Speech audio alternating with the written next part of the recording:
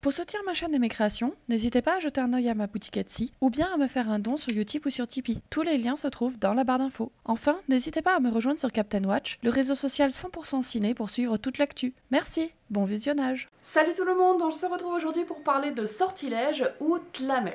Sortilège ou Tlames est un drame tunisien et français réalisé par Ala Eddin Slim. Au casting, nous retrouvons Abdullah Minyawi, Souhir Ben Amara, Khaled Ben Aïssa. Dans une caserne en Tunisie, un jeune soldat informé du décès de sa mère se voit accorder une permission.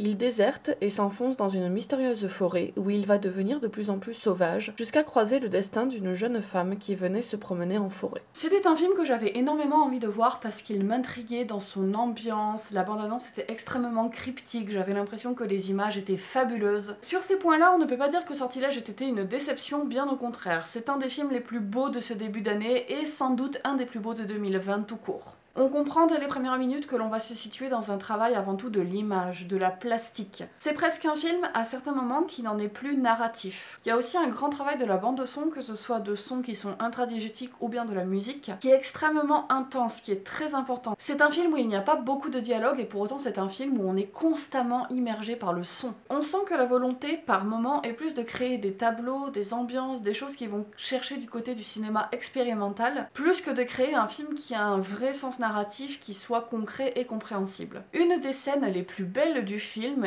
est quelque chose d'extrêmement simple pourtant. Part d'une mosquée avec l'appel du muezzin et la caméra effectue un très très très lent dézoom arrière. Ce plan doit durer une bonne dizaine de minutes avec l'appel du muezzin qui peu à peu va venir se muer dans une musique qui est très oppressante, très angoissante. C'est un plan de nuit donc avec énormément de jeux sur les couleurs chaudes, énormément de jeux sur les couleurs de la ville et ce plan très contemplatif qui n'a rien à voir avec l'histoire qu'on est en train de nous narrer, qui vient faire une pause poétique au milieu du récit, est symbolique de l'ensemble du film, qui en fait se détache totalement de toute conception narrative normée pour offrir sa propre expérience avec comme ça des pauses contemplatives poétiques et presque abstraites au milieu d'un récit qui lui est tout autant cryptique. C'est une vraie claque visuelle et il y a certaines scènes en termes de symbolique, en termes de conception visuelle, en termes de beauté, en termes de poésie, en termes d'aspect contemplatif, en termes plastiquement tout simplement comme si on les prenait comme des des, petits bouts, des petits courts-métrages à l'intérieur du film qui sont absolument sensationnels. Le gros souci du film, c'est que à côté de ces aspects-là qui sont sublimes, le film a énormément de mal à créer du sens, à créer du narratif, à lier les choses entre elles, et bien souvent, je dois l'avouer, on est complètement paumé au milieu de sortilèges. Ah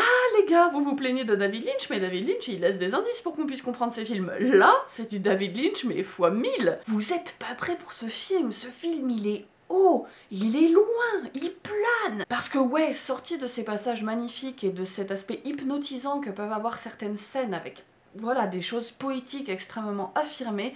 À côté de ça, c'est un bordel ce film. Je vous raconte pas l'état de mes notes, hein. j'ai essayé à chaque scène de décrypter et à chaque fois j'ai mis genre je comprends rien, Peut-être, mais ça n'a pas de sens avec ce qui a été dit avant. Pourquoi ça arrive à ce moment-là? Mais ça, on l'a déjà vu. Pourquoi c'est une redite? Je suis larguée. Je suis incapable de vous dire quelle a été l'intention du réalisateur. Je suis incapable de vous dire ce qu'est l'histoire de Tlames.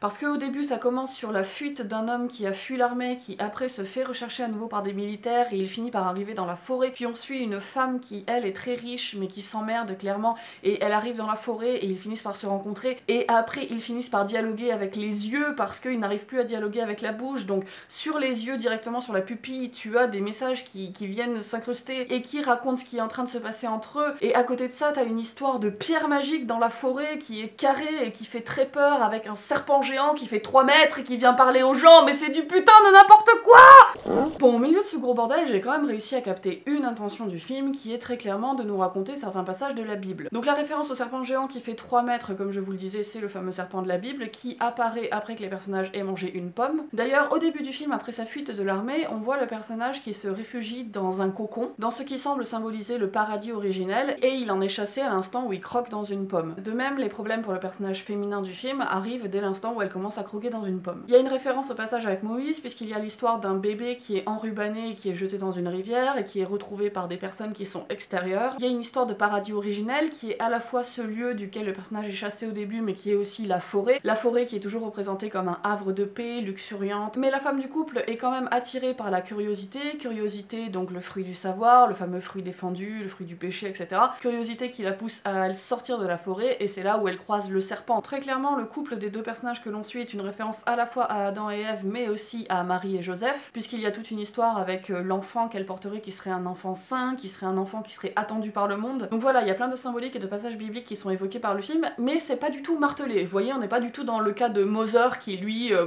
faisait bien tout pour te faire comprendre qu'il est en train de parler de la Bible, quitte à te prendre pour quelqu'un qui avait 30 points de QI, tu vois. Là, non, ce que j'ai quand même plutôt apprécié, c'est que ça reste quand même assez subtil, mais subtil au point d'en être totalement cryptique. Il y a aussi un truc, alors ça, je m'interroge quand même vraiment beaucoup. Donc, au bout d'un moment, la meuf du couple, elle finit par accoucher de ce fameux enfant sacré qui était attendu et tout machin, sauf qu'elle n'a pas de lait. Et il s'avère que dans le couple, en fait, c'est le mec qui se met à avoir du lait. J'ai rien compris à ce moment-là. Est-ce que c'était un message pour dire qu'en fait le genre d'origine n'a rien à voir avec le genre auquel on est assigné Est-ce que c'était un message pour dire que cette personne était peut-être une personne transgenre? En plus, à côté de ça, il y a une histoire que de la meuf qui se fait empoisonner par le serpent. Il y a cette fameuse histoire qu'ils ont chopé un sortilège et du coup ils ne peuvent s'exprimer que par les yeux. Mais bref, c'est un bordel, mais sans nom. Un petit truc aussi que j'ai retrouvé en regardant mes notes, et c'est vrai que quand j'y repense, c'est le cas. Le personnage principal ressemble à mort à Mr. JD. Mais alors, à un point. Et du coup, ça faisait très bizarre parce que je me disais, je suis vraiment en train de regarder Mr. JD qui est en train d'allaiter un bébé et qui vit dans la forêt reclus en train de construire une arche. Ah oui, parce qu'il y a l'histoire de l'arche de Noé aussi au milieu, donc ils construisent une arche. Bref, le tout en capturant une meuf et en vénérant une espèce de pierre symbolique dans la forêt. Je suis vraiment en train de regarder Mr. JD faire ça, c'est très très perturbant. Bref, Tlames, c'est vraiment une putain de curiosité cinématographique. Clairement, c'est un film qui ne ressemble à aucun autre. Mais hélas, à force de vouloir être original, c'est aussi un film qui en devient tellement cryptique qu'on est incapable de comprendre quelles ont été les intentions du réalisateur. Surtout, il faut quand même le dire, c'est un film qui est magnifique, mais alors qu'est-ce qu'on se fait chier? Le film est long, le film est lent, chaque plan dure énormément de temps. L'ambiance immersive est totalement ratée, il y a très très peu de dialogue, très peu de choses qui viennent un petit peu nous donner un contexte dans lequel évolue le film. Bref, pour moi, c'est un film, si jamais vous êtes curieux en termes de plastique et de symbolisme, regardez-le pour ça, mais ne vous attendez pas à quelque chose qui a énormément de sens. Et le gros souci quand tu fais combo film très beau, mais très chiant, cryptique, avec une histoire où on comprend rien, et sans décrypter les intentions du réalisateur, c'est que ça donne un film qui est très pompeux. Et c'est surtout ça que je reproche à Sortilège Tlames, c'est que c'est un film qui pue la prétention, où on a l'impression que le réalisateur est constamment en train de nous cracher à la figure, un pseudo-étalage de culture et de symbolisme pour se la péter supérieur. C'est vraiment très fatigant. Voilà ma critique de Sortilège est terminée, j'espère que ça vous aura plu. N'hésitez pas, comme d'habitude, à me suivre sur les réseaux sociaux parce que j'y suis très active. N'hésitez pas aussi à partager cette vidéo si ce que je vous propose vous plaît parce que c'est le seul moyen que j'ai d'avoir de la visibilité. N'hésitez pas enfin à vous abonner à ma chaîne pour être au courant de toutes les sorties. En ce moment, je sors une vidéo par jour. Et quant à moi, je vous dis comme d'habitude à la prochaine pour une nouvelle vidéo. Salut